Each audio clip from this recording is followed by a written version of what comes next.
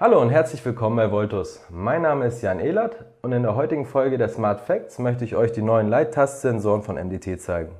Nachdem bereits der Glastaster 2 und der Smart 86 extrem beliebt sind, hat sich MDT gedacht, nun auch die Löcher in der Wand zu füllen, wo diese beiden noch keine Anwendung gefunden haben, weil sie einfach zu überdimensioniert sind oder einfach nicht zur Anwendung passen.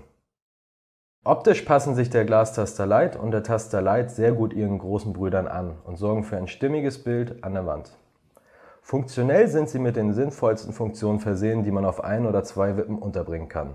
Neben den klassischen Funktionen wie Schalten, Dimmen oder Jalousie sind auch eine Vielzahl an wertsendenden Funktionen wie zum Beispiel Farbtemperatur oder RGB-Wert vorhanden. Eine wirklich sinnvolle Funktion ist die sogenannte innovative Gruppensteuerung.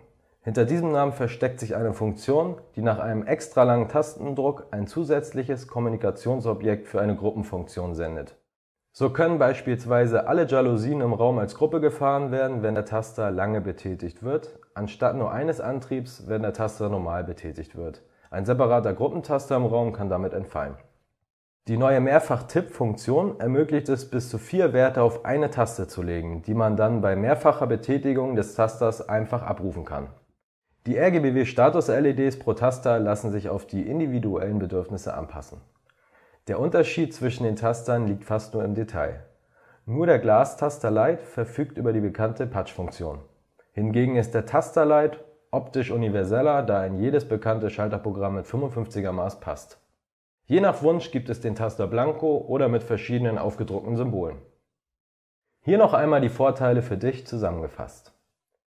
Die neuen Leitastsensoren von NDT passen optisch perfekt in jedes Schalterprogramm oder harmonieren super mit den bekannten Glastastern, haben tolle Zusatzfeatures in der Applikation, verfügen über ein tolles Preis-Leistungs-Verhältnis.